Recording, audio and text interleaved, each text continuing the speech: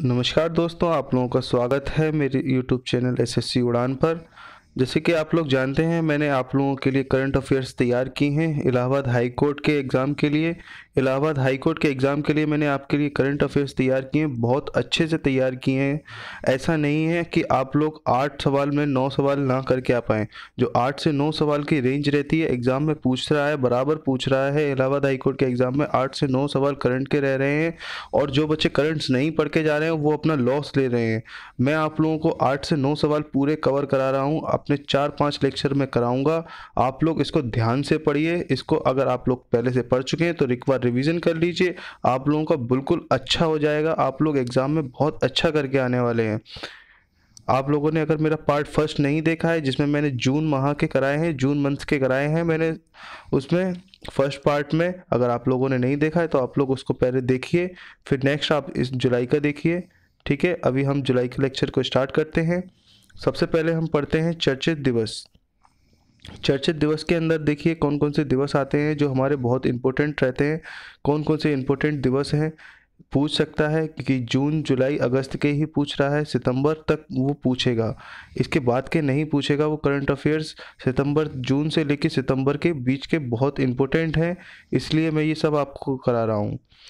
अगर आप लोगों ने मेरे चैनल को सब्सक्राइब नहीं किया है गाइज़ तो आप लोग मेरे चैनल को सब्सक्राइब कर लें, जिससे आप लोगों को ऐसे ही लेटेस्ट अपडेट्स मिलती रहें और आप लोग अच्छे से अच्छे मार्क्स लेके आए अपने एग्ज़ाम में।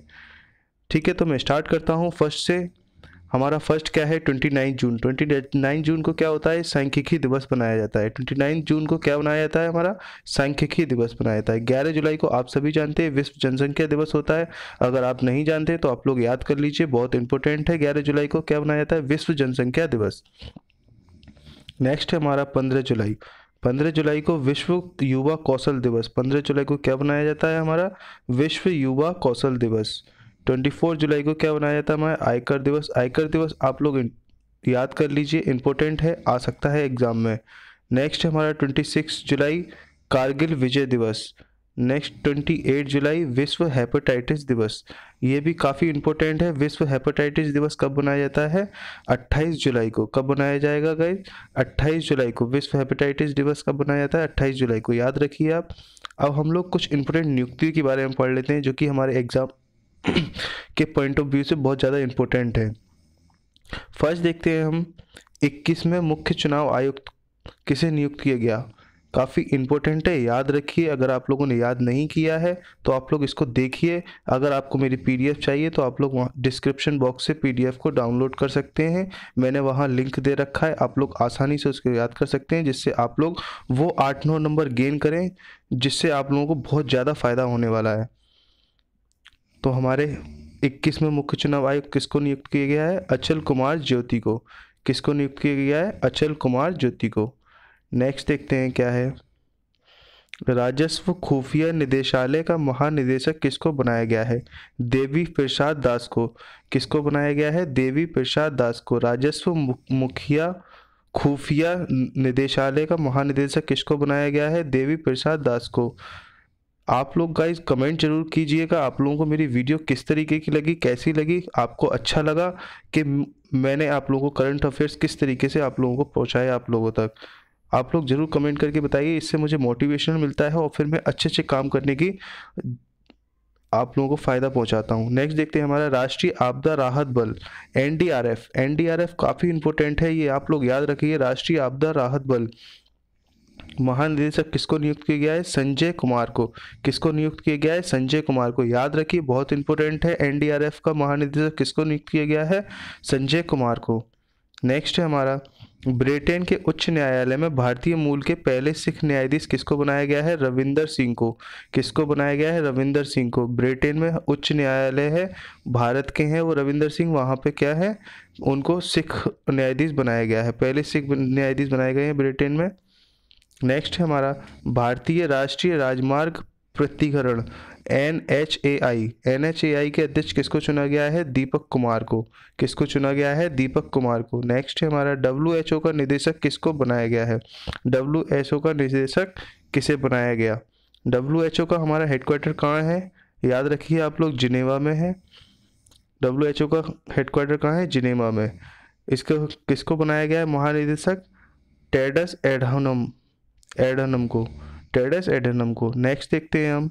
ये काफ़ी इंपॉर्टेंट है। भारत का पंद्रहवें महा, महान्यायवादी किसको बनाया गया है? के के वेणुगोपाल को। आप लोग याद रखिए, ये काफ़ी इंपॉर्टेंट है। एग्ज़ाम में ज़रूर ज़रूर पूछा जा सकता है।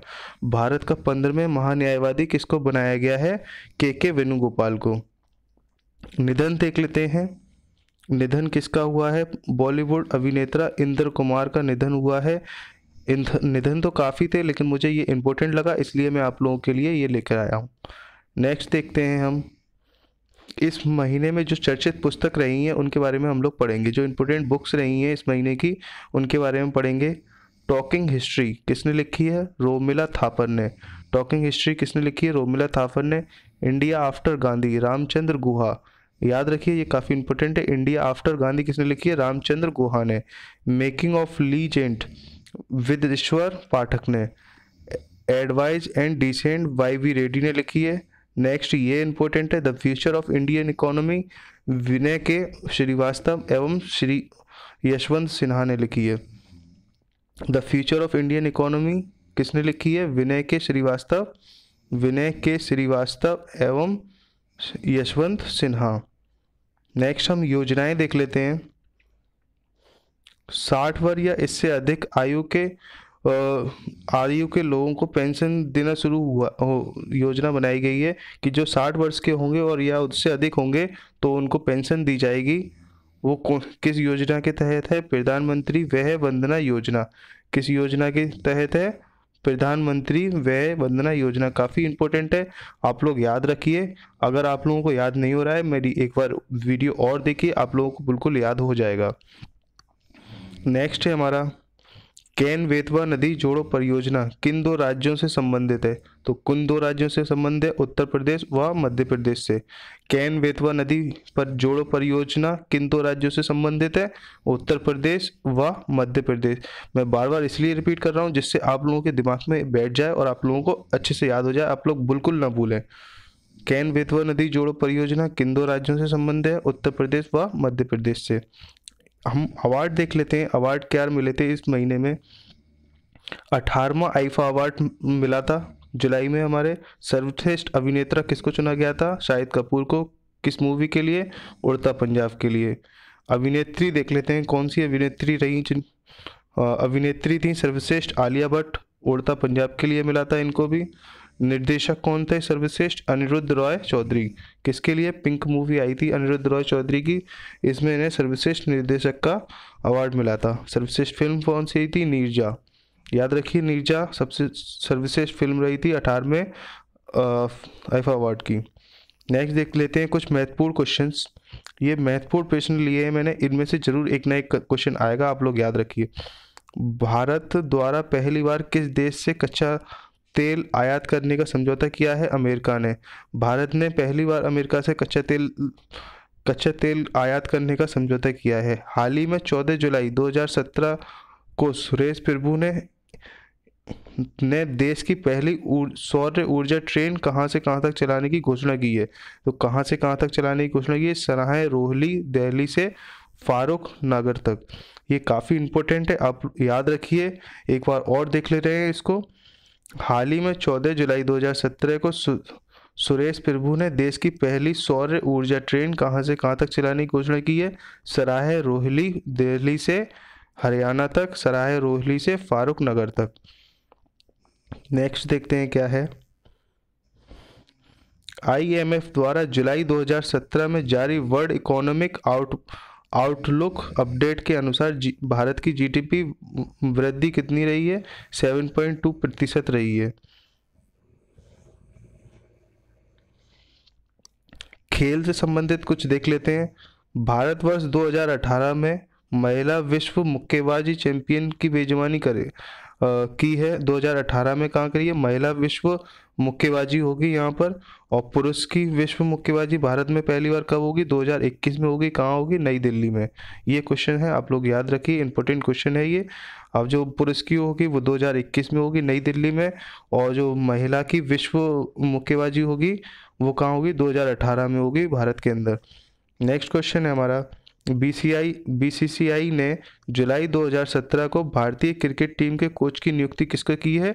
रवि श्रीवास्तव। अगर आप लोग क्रिकेट से रुचि रखते होंगे तो आप लोगों को अच्छे से पता होगा किसको चुना गया है कोच भारत का, रवि श्रीवास्तव।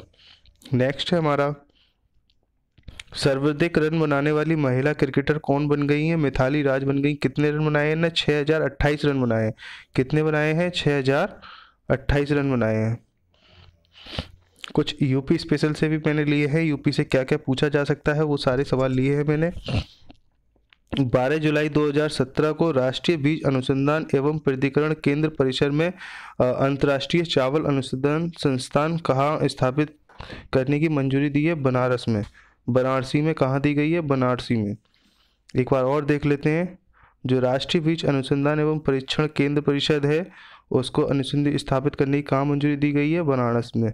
वाराणसी में। आप याद रखिए इम्पोर्टेंट है। नेक्स्ट देख लेते हैं हमारा क्या है।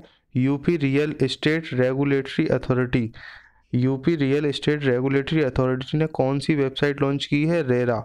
रेरा, याद रखिए इम्पोर्टेंट है, ये आ सकता है। रेरा, कौन सी वेबसाइट लॉन्च की है? रेरा। देश में सबसे बड़े ताज़े पानी की मछली घर। ताज़े पानी की मछली घर कहाँ स्थापित किया गया है? झारखंड में। याद रखिए इम्पोर्टेंट है कहाँ स्थापित किया गया है ताज़े पानी की मछली अगर झारखंड के अंदर। नेक्स्ट देख लेते हैं क्या है हमारा। यातायात नियंत्रण के लिए रोबोट का उपयोग करने वाला पहला भारत का ऐसा कौन सा शहर है जहाँ पे पहले बार रोबोट यूज़ होंगे यातायात के लिए? वो कहाँ होंगे? इंदौर में, मध्य प्रदेश में। इम्पोर्टेंट क्वेश्चन है, याद रखिए। मैंने कुछ महत्वपूर्ण तत्व लिए हैं जो कि आप, आपके एग्ज़ाम में पूछ लेता है। पिछले एग्ज़ाम में पूछा भी गया था, मैंने उसमें भी वीडियो में दिया था, लेकिन गाइज़ और लोगों ने ध्यान नहीं दिया। इस बार फिर मैं लेके आया हूँ, आप लोग अच्छे से ध्यान रखिए। चीन, चीनी उत्पादन में प्रथम स्थान किस देश का है? ब्राज़ील का है। भारत का कौन सा स्थान है? दूसरा स्थान है। याद रखिए इम्पोर्टेंट है काफ़ी। पहला स्थान किसका है चीनी में? ब्राज़ील का। दूसरा किसका है? भारत का। चावल उत्पादन देश कौन सा है? प्रथम चीन है, फिर दूसरे नंबर पे कौन है? भारत। चावल उत्पादन के राज्य कौन सा है? पश्चिम बंगाल है नेक्स्ट कौन सा है? दूसरे नंबर पे उत्तर प्रदेश है, तीसरे पे आंध्र प्रदेश है। आज के वीडियो में इतना ही रखेंगे। मैं आपको थोड़ा स्ट्रेटजी के बारे में बता दूँ। आप लोगों का एग्ज़ाम है छः दिन रह गए हैं। आप लोग अच्छे से तैयारी कीजिए। आप लोग अच्छे से तैयारी कीजिए। अगर आप लोगों ने मेरे चैनल को सब्सक्राइब नहीं किया है तो आप लोग मेरे चैनल को सब्सक्राइब कर लीजिए। एसएससी उड़ान के नाम से मेरा चैनल है। आप लोग लेटेस्ट अपडेट मिलती रहेंगी मेरे चैनल पर। आप लोगों को अगर मेरी पीडीएफ चाहिए तो आप लोग डिस्क्रिप्शन बॉक्स में जाकर उसको डाउनलोड कर सकते हैं और अगर आपको मेरी वीडियो कैसी लगी, आप लोग उसको कमेंट में लिखकर बताएँ मुझे। Okay good bye have a nice day to all of you